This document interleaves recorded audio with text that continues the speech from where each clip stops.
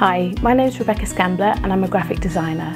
I went to art school over 20 years ago and I've worked in publishing for many years as a designer and in 2012 I started my own design business. Ever since I was small I've always been creative, so I've drawn and painted and made things so it's wonderful to then be able to go on to art school and take my design art skills onto a whole new level. I had a wonderful time at art school being creative and learning new skills and it was a real joy to be able to take those skills into the workplace to help others. My clients are mainly charities, individuals and small businesses.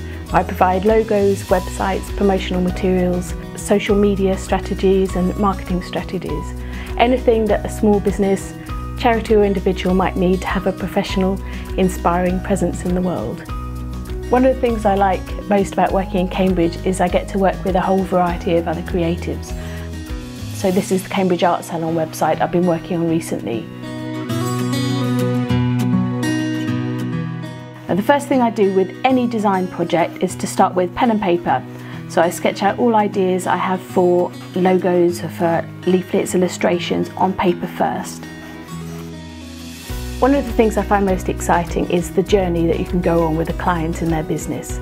So someone will come to me for a logo, which would be great, and then maybe months down the line they'll come back for a website and maybe a leaflet, business cards, promotional items. This can lead on to social media and marketing strategies. And it's great to be able to follow people through that process.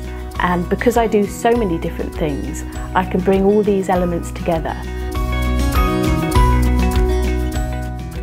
So if I'm working on a, a magazine illustration, I'll uh, write up my ideas, then I'll draw it up in pencil, um, then I'll ink it up first and scan it into the computer and tidy it up.